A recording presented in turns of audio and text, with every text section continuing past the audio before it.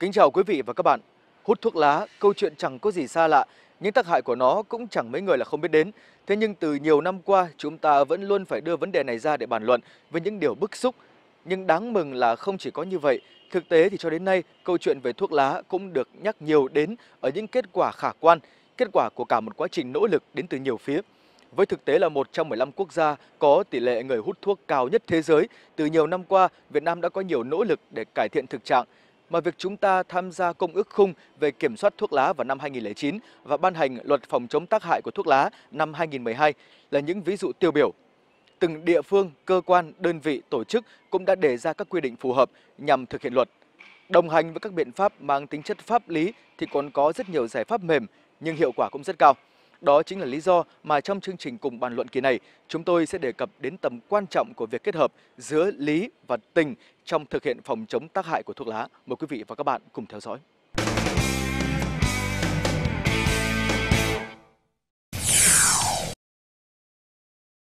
Khói thuốc vốn là một nỗi ám ảnh với nhiều người khi có việc phải đến bến xe khách, nhà ga. Những hình ảnh như thế này có thể bắt gặp ở nhiều nơi. Còn trên các phương tiện giao thông công cộng, sự tồn tại của khói thuốc đã từng coi là bình thường. Nhưng đó là câu chuyện đã cũ. Hải Phòng là một trong những nơi mà dịch vụ giao thông công cộng sớm được nhiều doanh nghiệp quan tâm đầu tư. Từ hàng chục năm qua, hành khách đi trên các tuyến đường bộ, Hải Phòng, Hà Nội hay là các tỉnh phía Nam đã được thụ hưởng một dịch vụ tương đối tốt với sự đa dạng về phương tiện, nhiều sự lựa chọn về khung giờ, chất lượng phục vụ được cải thiện đáng kể. Đặc biệt, trong đó phải nhắc đến việc cấm hút thuốc tại các địa điểm được quy định trong luật phòng chống tác hại của thuốc lá. Trước đây thì việc di chuyển trên những cái phương tiện công cộng như thế này thường là một nỗi ám ảnh không nhỏ đối với phụ nữ, đặc biệt là trẻ em hay là những người say xe, bởi đơn giản là xung quanh họ thường bị bủa vây bởi thuốc lá từ lái xe, phụ xe đến các hành khách thì thường vô tư phá khói mà không kể đến cái nỗi ám ảnh, cái sự chán nản của những người xung quanh. Tuy nhiên, ờ, trong ờ, những năm gần đây, đặc biệt là khi dịch vụ vận tải hành khách đã được nâng lên một tầm chất lượng cao hơn thì những vấn đề ám ảnh đó gần như không còn nữa.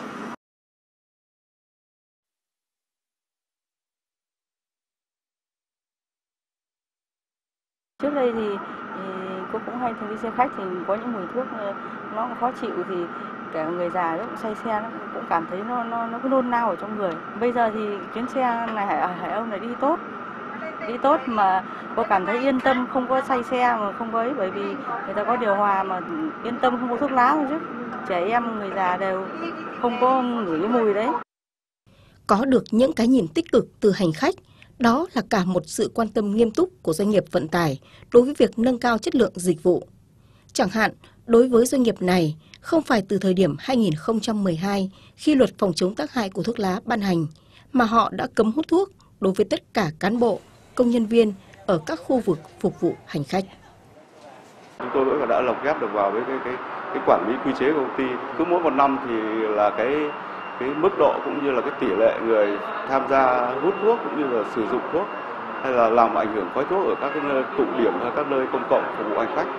Mà đặc biệt trên xe là không còn. Và cái cái giảm thiểu thì từ cái số lượng 70% thì đến nay cũng chỉ còn từ 15 đến 20% là nhân viên có hút thuốc, nhưng mà lại ý thức được rằng là không hút thuốc ở những nơi phục vụ hành khách những nơi công cộng và làm ảnh hưởng đến cả những người mà thụ động về khói thuốc của của cái người hút thuốc đấy mà cái này chúng tôi đã xử lý cũng rất nhiều và anh em cũng hiểu ra vấn đề và cũng chấp hành rất tốt vì nó gắn liền với cái chỉ tiêu thu nhập. Bước đầu thì cũng có khó khăn nhưng mà theo quy định của công ty thì mình phải thực hiện. Cái yếu tố đầu tiên là đặt lên là cái sức khỏe của mình để đảm bảo công việc. Cái thứ hai là trong cuộc sống ở môi trường xung quanh mình không làm ảnh hưởng đến sức khỏe của mọi người. Một trong những khu vực được nhận diện là có nhiều vi phạm nhất trong thực hiện luật phòng chống tác hại của thuốc lá hiện nay chính là các nhà hàng, quán giải khát, dịch vụ giải trí. Chưa tìm được cách cân bằng giữa việc thực hiện quy định của pháp luật và lợi ích kinh doanh, họ vẫn đang phải loay hoay với chính mình để cuối cùng là chưa xây dựng được một môi trường không khói thuốc trong chính phạm vi hoạt động của mình. Tuy nhiên, trong bối cảnh đó, vẫn có những người thực sự quan tâm đến vấn đề chung để tìm ra cho mình một cách làm cương quyết nhưng vẫn linh hoạt và có hiệu quả cao. Khách sạn Việt Trung trên địa bàn quận Hải An là một trong những doanh nghiệp như vậy. Về nội bộ, đó là sự cương quyết. Làm khách sạn thì cũng phải là đặc thù riêng. Nếu nhân viên mà hút thuốc lá thì ảnh hưởng đến khách. Cho nên cái việc đó dứt khoát là không được hút thuốc. Nếu nhân viên chấp nhận thì sẽ được làm trong khách sạn, còn không thì là làm nơi khác. Đấy là điều tiên quyết. Kết quả là đã nhiều năm qua, 100% người lao động tại đây không sử dụng thuốc lá ở nơi làm việc. Bản thân người đứng đầu doanh nghiệp cũng hoàn toàn từ bỏ việc hút thuốc. Còn trong kinh doanh thì đó là sự linh hoạt. Có hai khu vực, một là phòng nghỉ dành cho người hút thuốc và phòng nghỉ dành cho khách không hút thuốc. Thì xem khách đối tượng như thế này thì ta xếp khách. Thế thì cái việc đó nó cũng lợi cho khách sạn và cũng lợi cho cả khách. Thì thấy rằng là cũng có hiệu quả. Từ khu vực lễ tân, nhà hàng đến phòng nghỉ hầu như được làm sạch khói thuốc. Và tỷ lệ khách có sử dụng thuốc lá khi đến khách sạn cũng giảm từ 40 đến 50% so với trước đây, thực sự là một kết quả đáng khích lệ. Nhằm nâng cao nhận thức của người lao động tại khu vực doanh nghiệp về tác hại của thuốc lá, đồng thời tuyên truyền, phổ biến pháp luật về hạn chế sử dụng thuốc lá. Thời gian qua, tại Hải Phòng đã diễn ra nhiều sự kiện như thế này. Đây không chỉ là cơ hội để nắm bắt kỹ hơn các quy định của pháp luật, mà còn là dịp để người tham gia cùng trao đổi những bài học kinh nghiệm, những cách làm hay và phù hợp để triển khai tại đơn vị của mình. Với thực tế tỷ lệ người hút thuốc còn cao như ở Việt Nam thì chắc chắn những chương trình meeting, hội thảo này vẫn rất cần thiết, không chỉ trong tuần lễ quốc gia không khói thuốc mà cần phải được thực hiện thường xuyên hơn tại nhiều thời điểm trong năm. Khánh Linh và Minh Hiếu là những đứa trẻ được sinh ra trong một gia đình không có người hút thuốc. Nhưng không vì vậy mà các cháu không biết đến sự tồn tại của thuốc lá cũng như nỗi khó chịu mà nó gây ra. Đi du lịch, đi ăn nhà hàng, đi quán cà phê cùng người lớn, hay thậm chí là khi người thân mang khói thuốc đến nhà.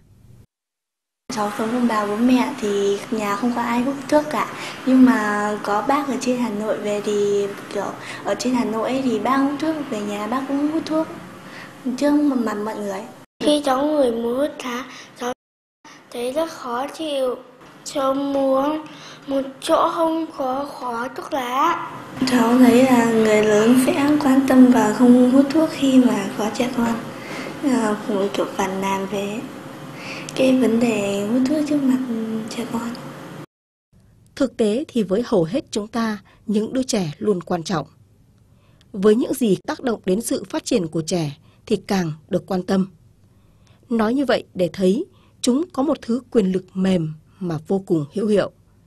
Chỉ cần những đứa trẻ mà chúng ta yêu quý không muốn, nhất là khi đó lại là yêu cầu chính đáng, thì người lớn có thể nhượng bộ dù đó là một thói quen đã theo họ trong suốt thời gian dài như hút thuốc.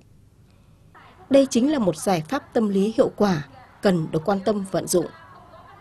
Tại Việt Nam nói chung và Hải Phòng nói riêng, hàng năm có nhiều sự kiện liên quan đến phòng chống thuốc lá được thực hiện ở các trường học, vừa là mang đến cho học sinh nhận thức được các tác hại khi sử dụng thuốc lá, vừa giúp các em có được những kỹ năng để thuyết phục người nhà giảm và bỏ thuốc. Những chương trình như thế này nếu được thực hiện theo những hình thức phong phú, kết hợp với các bài học kỹ năng trong nhà trường thì chắc chắn sẽ mang lại hiệu quả tốt.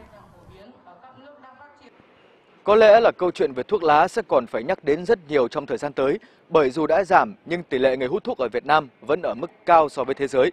Tuy nhiên, chặng đường dài vừa qua cũng mang đến nhiều bài học mà trong đó chúng ta biết rằng việc thay đổi nhận thức của người dân không thể một sớm một chiều và đôi khi thì những biện pháp mềm dẻo cũng có tác dụng không kém so với các quy định pháp lý.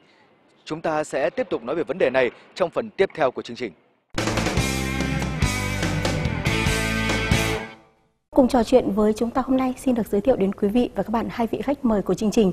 Bà Phạm Thị Trà, Phó Tránh Thanh tra Sở Y tế Hải Phòng, bác sĩ Nguyễn Quang Chính, Giám đốc Trung tâm Truyền thông Giáo dục Sức khỏe thành phố Hải Phòng. Thưa bác sĩ Nguyễn Quang Chính, có những cái chuyển biến rất là rõ rệt trong việc uh, thực hiện phòng và chống ờ, hút thuốc lá chẳng hạn như là uh, ở một cái môi trường này trước đây vốn dĩ có rất nhiều khói thuốc nhưng hiện nay đã không còn nữa. Chúng tôi nghĩ rằng là không cần có những cái con số chứng minh nào cả.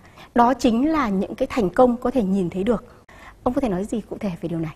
Nói về một cái ờ, hiệu quả trong một cái chuỗi quá trình dài, bao gồm những cái hoạt động rất là đa dạng, rất là phong phú và rất là quyết liệt của cái công tác phòng chống tại thuốc lá thì chúng ta sẽ ờ, có thể có nhiều cái phương pháp nghiên cứu hoặc là đo lường. Ví dụ như là cái số tiền mà người dân bỏ ra chi phí cho thuốc lá trên cái tổng số chi phí hàng ngày của cuộc sống của gia đình chẳng hạn chúng ta giảm đi. Cái thứ hai nữa là ờ, cái tỷ lệ hút thuốc lá giảm đi. À, tỷ lệ những cái người bị mắc các cái vấn đề về sức khỏe do thuốc lá thì đấy là những cái hiệu quả mà chúng ta đã can thiệp và thành công. À, tuy nhiên như cái câu hỏi của chị và cũng như đánh giá của chúng ta là chúng ta đang cảm quan, ta đang nhìn thấy mà nó có một cái sự thay đổi mà chúng ta có thể mắt thấy và tai nghe được. Đó là cái tình trạng là ví dụ hút thuốc lá ở những cái nơi mà có quy định cấm tại trường học, tại cơ sở y tế, tại nơi làm việc, tại những nơi nguy cơ có cháy nổ cao hoặc là trên phương tiện giao thông công cộng thì rõ ràng chúng ta cũng đã nhìn thấy có một sự chuyển biến thay đổi hoặc cái, cái thứ hai nữa là nếu chúng ta nhìn thấy thế hệ trẻ trước đây các em hút thuốc hút thuốc ở trường hoặc là các em tiếp cận với thuốc lá thì đến bây giờ là rõ ràng là ít đi.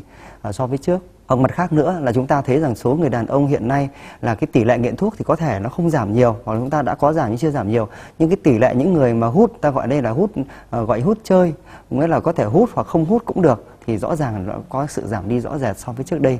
Và đương nhiên là cái cái hoạt động treo biển rồi triển khai các hoạt động phòng chống tay thuốc lá cũng như kiến thức của người dân rõ ràng là đã có một cái sự thay đổi.